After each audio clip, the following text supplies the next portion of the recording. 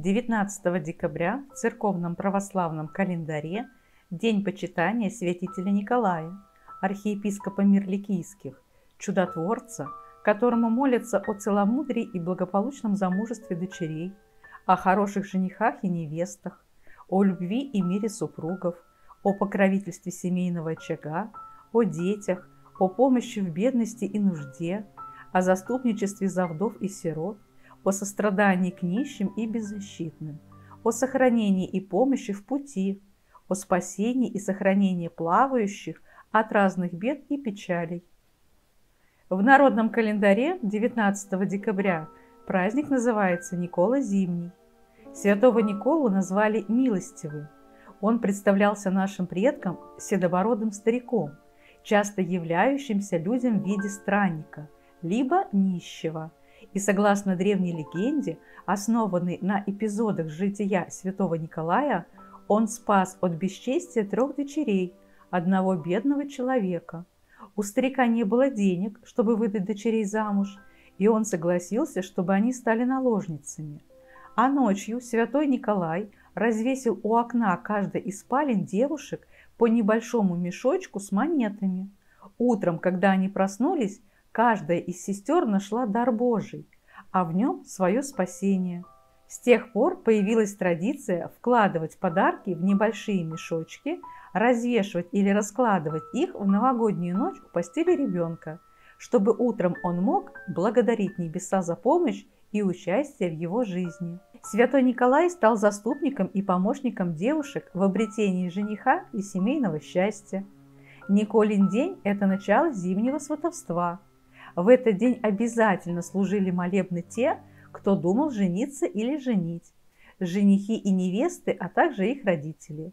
И нередко молодых благословляли в свадебную дорогу иконы святого Николая. Данный праздник носит несколько названий. Кто-то называет Днем Святого Николая, кто-то называет Никола, либо Николин день, а также Никола Морозный, либо Зимник – и в народном православии день завершает трехдневный праздничный комплекс. Это Варварин день, Савин день 18 декабря и Николин день 19 декабря. Никола Угодник является одним из самых почитаемых святых на Руси. Верили, что он помогает людям даже без специального обращения. Он дарит плодородие, богатство, обилие. Говорили в народе, до Николы нет добра Николе.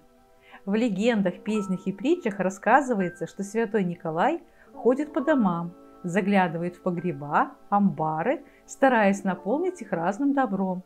Ходит Никола по погребу, ищет Никола неполного. Все, что найдет неполное, хочет Никола дополнить.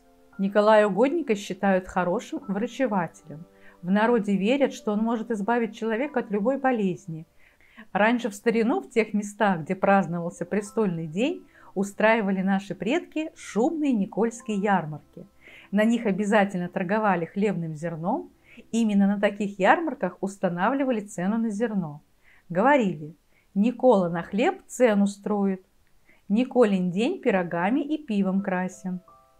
В деревнях в этот день справлялась Никольская братчина с пирогами и ячменным пивом. После ярмарки, выручив деньги за продажу товара, крестьяне организовывали праздничные гуляния. Совместные застолья и хождение в гости были главным особенностями этого гуляния. На столе обязательно присутствовал обрядовый каравай, который делили между всеми участниками застолья. И совместно съеденный каравай символизировал примирение. Чтобы не было размолвок и вражды, проводили обряд женитьбы пива, из разных домов хмельной напиток сливали в один сосуд, из которого потом разливали всем присутствующим. Молодежь в День Святого Николая собиралась в заранее обговоренной избе на посиделке, во время которых шла бурная подготовка к святкам. Девушки и парни готовили маски, костюмы и учили, сочиняли разные песни-колядки. В некоторых местах это время называли Никольскими святками – за схожесть некоторых обычаев с рождественскими. Девушки в этот день гадали, клали на образ чудотворца пояс, веря, что во сне увидят своего суженого. Народные приметы говорят, Если на Михайлов день 21 ноября зима закует, то на Николу 19 декабря раскует. Если 19 декабря вы заметите на деревьях иней, то значит будет хороший урожай овса. За помощью к святому Николаю можно обращаться в любой ситуации. Слова молитвы я вам оставлю внизу в описании под данным видео. С вами был канал Добрые Знания. До новых встреч!